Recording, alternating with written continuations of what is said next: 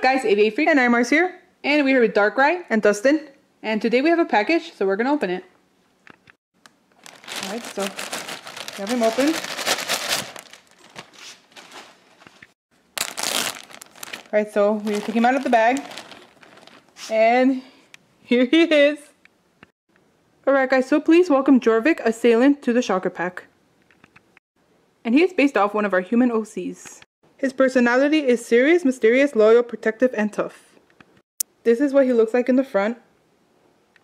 His right side. His left side. And his back. And his brand is Heritage Collection by Ganz.